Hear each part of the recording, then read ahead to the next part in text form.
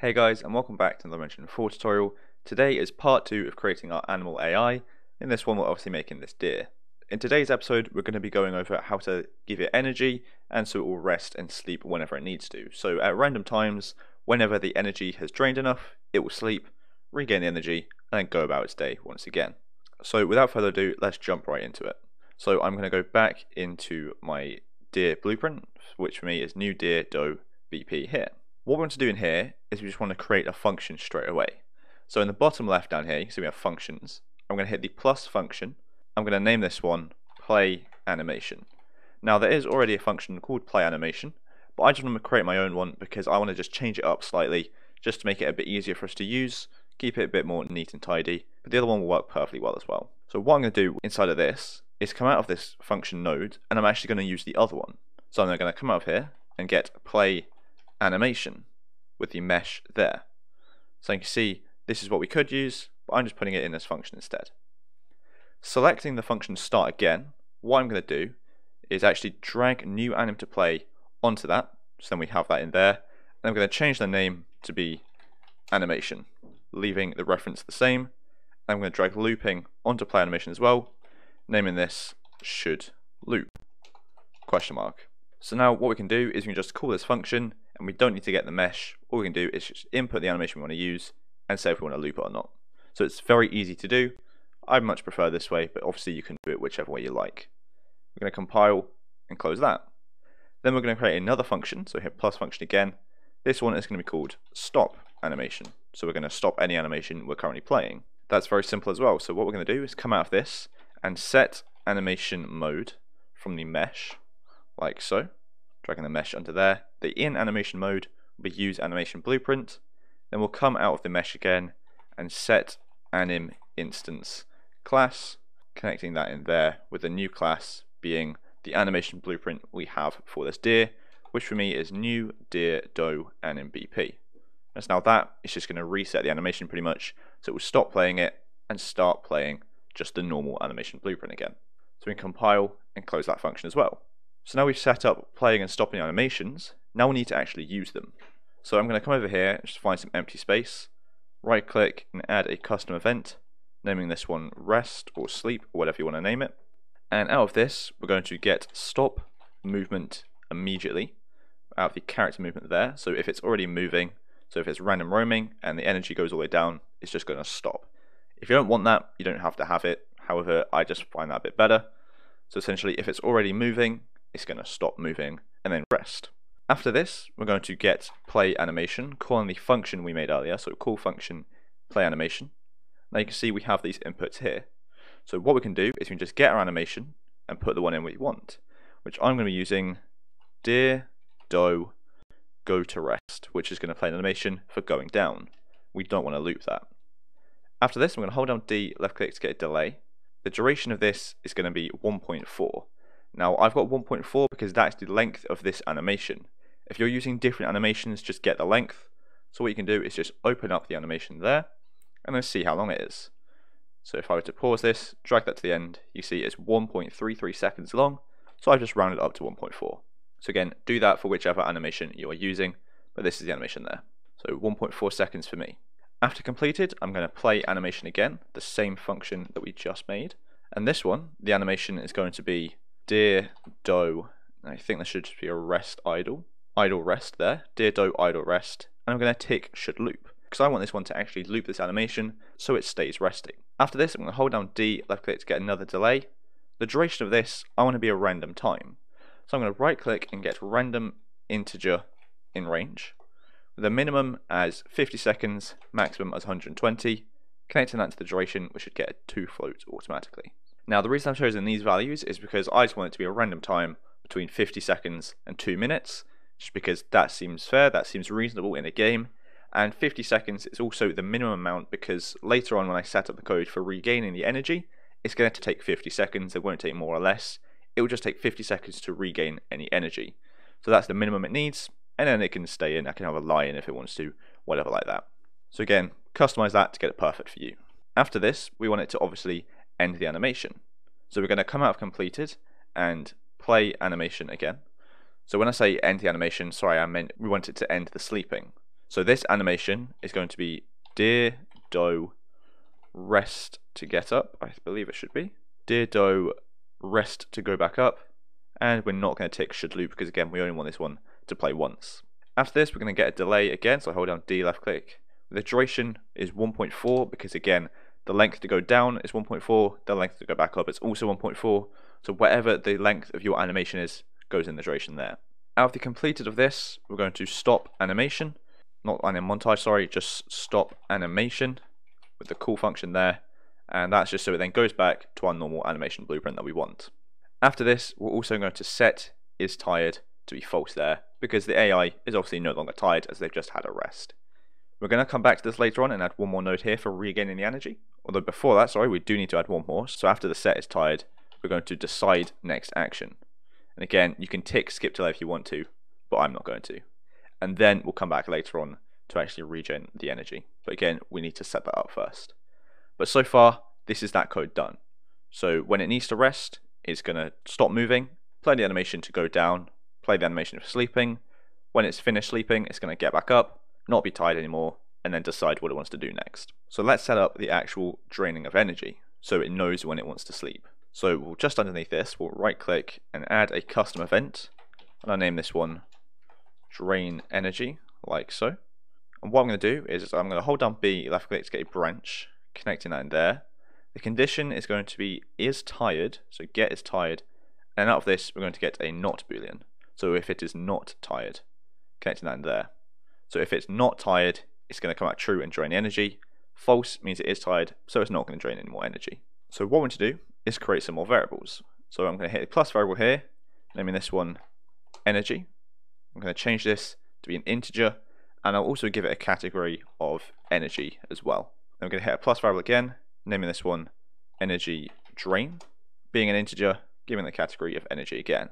Now the reason I'm doing energy drain is because then if the AI is running, you can increase the energy drain so it drains down quicker because obviously you're going to be using more energy, be more tired if you're running. We'll create one final one, naming this one max energy. We'll create another one in a minute, but we don't need that for this part of code. Again, keeping it as an integer category of energy, just to keep it nice and organized. So you can see down here, we can then just close that like so. What we want to do now is we want to get energy, and we want to set it. So set energy setting it off of true like so. The input of this, we're going to get a clamp integer because we want to keep it between two values. The minimum is going to be zero. The maximum is going to be our max energy here.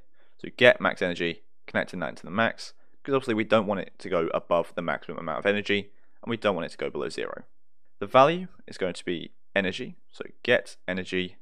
Out of that, we're going to get an integer minus an integer, with the bottom value being our energy drain. So get energy drain, then connecting the subtraction into the value. So whenever the AI is draining energy, it's going to get the current energy minus the energy drain from that, and then set that to be the current energy. Obviously, the maximum is max energy, which we don't really need in this one because we're making it smaller, not bigger, but it's always good to have anyway.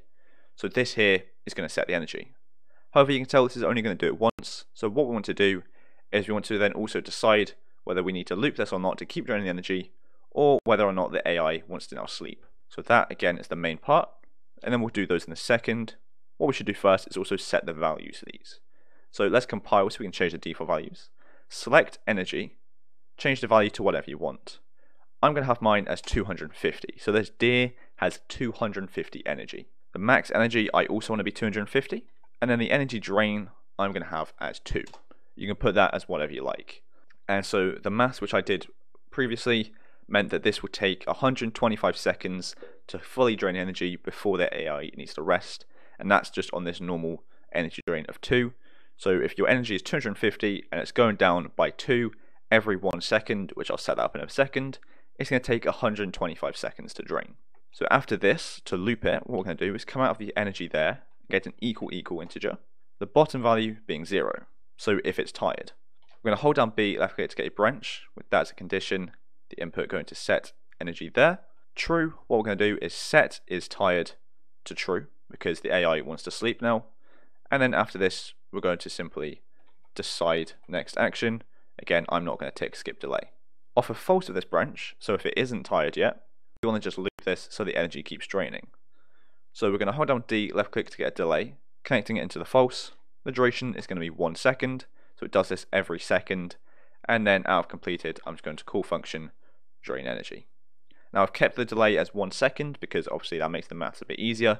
You can obviously make the delay longer or shorter, and you can increase the max energy and or decrease it, and again increase or decrease the energy drain as well. These are just the values which I used because I thought they were good, but this is the code done for draining the energy.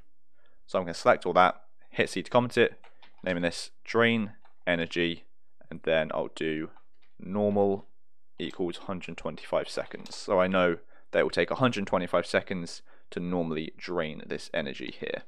And I believe that math is correct anyway. So now we've drained the energy. What we want to do is we want to also regain the energy.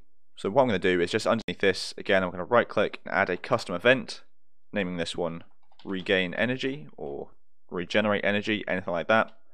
And we're going to hold down B, left click to get another branch.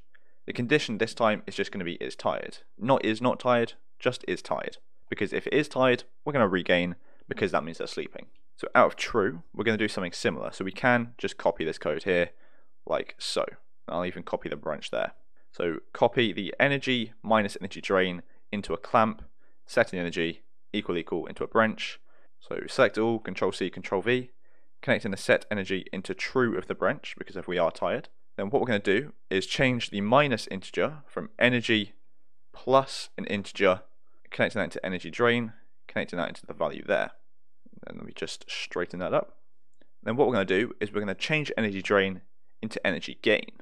So we're going to hit a plus variable again, naming this one energy gain. Again, I'm going to keep that as an integer category of energy. And then I'm going to compile, change its default value to 5 because I want it to go up by 5 every time. Again, set that to what you want. And then we can just drag and drop energy gain onto energy drain to change it over. So now it's going to get the energy, adding onto the energy drain, setting that to the max energy, setting that up until it reaches the max energy of 250, like so. Again, very, very simple. If it's tired, it's just going to add on to the energy, adding the energy gain until we get to the maximum amount desired. Here, where we have energy equal equal, we want to just make sure it's equal to the max energy. So max energy there, which again is 250, because if it is equal to that, we don't want to do anything, we just want it to stop adding on.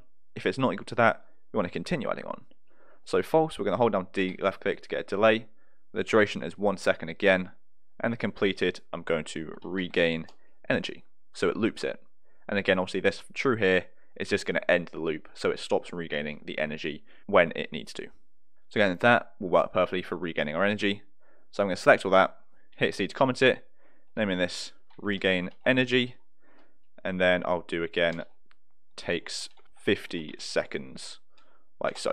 So it's going to take 50 seconds to regain the energy. Again, I hope that math is correct. Then we compile and save that. So what I'm going to do is actually also just comment this. So select it, press C. I'm going to name this one sleeping anim, like so. And then back up in this, what I'm going to do is after decide next action, I'm going to drag that out a bit, and I'm going to get drain energy. Because what we're going to do is after we've finished sleeping, we want it to start draining the energy again. So we need to set up gaining energy in here as well, but essentially because this is at the end, once it's finished sleeping, it's going to start draining energy once again, which is obviously perfect for what we want. So what we can do is go back to our decide next action code that we have here. Off of the true of is tired, we can call function rest. So if it's tired, it's going to rest. And after that, we can also call function regain energy, like so. Now you can put regain energy at the start of the sleep code there, but I'm just going to put it here instead. So that works perfectly for me. So it's going to rest and regain energy when it's tired. And again, we've done that code here, so the rest just plays the animation, and then it drains the energy after it's slept, and the drain energy obviously just takes energy, minuses the energy drain, and regain takes energy and adds the energy gain onto it. So the final step is just to call this function. So we can go to event begin play we have up here, and next to decide next action, also going to drain energy. So when we first start the game, the AI is going to start draining its energy like so. So we compile and save that, and now this should work for us. So I'm going to keep the values the same, so I will probably just speed up the video to make it quicker so you don't have to wait the 50 seconds and 125 seconds, all that. But I'll show you what this looks like now. So we compile, save, and this should be the code working. So I hit play and get in. We can test to see if this works. Our AI is over here. It should just walk around for as long as it needs. Again, 125 seconds. Then it should start sleeping, sleep for between 50 seconds and 2 minutes, and stop sleeping again. And the energy should be draining and regaining perfectly, which we'll be able to see whether or not it is sleeping or not. So like I say, I'll get back to you when it starts to do that. So as you can see, it's now tight enough for it to sleep. So the energy drained over 125 seconds, it then went down into sleeping, and it's going to sleep between 50 and 120 seconds. Now obviously you can change the animation so it looks like it is actually sleeping, not just sitting down. Again, these are just the animations which I've chose to use. Now the reason I didn't change the value so it wasn't quicker is just because I wanted to show that it does take that amount of time and how long it roughly takes. Because in a game environment you'd want it to be a bit longer, so it might feel a bit tedious just following it around. But again, in an actual game, in a survival game, that seems more realistic. So again, now it's just currently sleeping, the energy is going to be going back up again, and once the energy is up to what it should be, it's going to get back up and continue about its day, and then go back to sleep whenever it needs to when the energy has gone down again. So now it's got back up, and it's just going to go about its day, walking around again once it's finished the delay of the decide next action. Now it's just random roaming again. So it walked around, it slept, and it got back up, and now it's walking around again. So this works perfectly. So I think that'll be it for this video, so we've done everything we want to do. Today's episode, we just made it so the deer has energy which will go down and go back up, and when it's down far enough, it will be able to sleep, which will then make it go back up again, which will then afterwards, the AI will get back up from its sleep and continue doing what it was doing. So thanks so much for watching, I hope you enjoyed and I hope you found it helpful, and if you did, make sure to like and subscribe down below. So thanks so much for watching, and I'll see you in the next one.